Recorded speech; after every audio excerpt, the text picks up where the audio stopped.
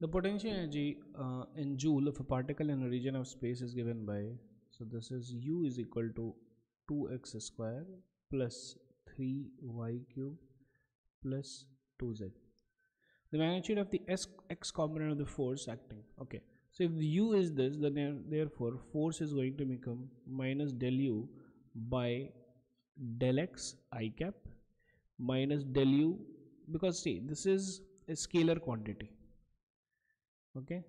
And this force is a vector quantity okay? So this is the formula.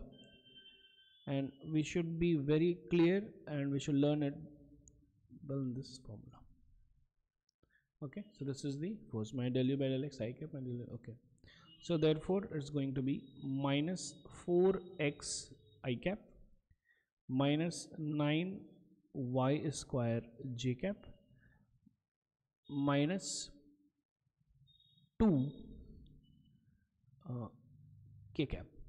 Now x component of the force acting at p1 comma 2 comma 3 so now we have to substitute.